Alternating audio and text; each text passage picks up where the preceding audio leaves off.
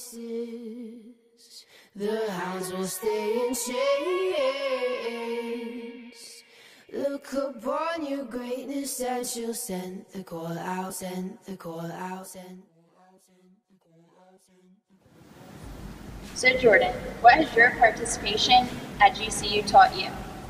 Uh, as a male athlete at GCU, my uh, participation has taught me to constantly be under the microscope and uh, being the first male program at an all women's school.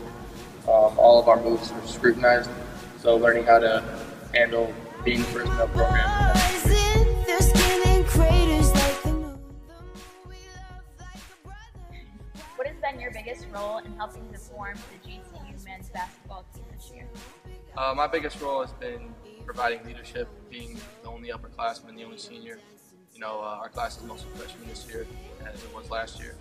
So being a guy that has a lot of experience, I can show a lot of the younger guys the ropes, including the coaching staff, a lot of them.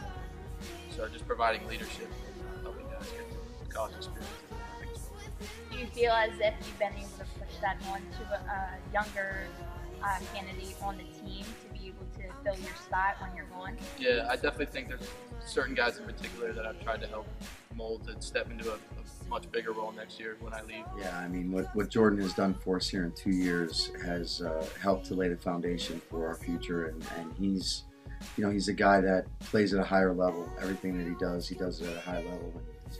Um, any advice I would give to any uh, incoming male student athletes at Georgian Court, I would tell them to find any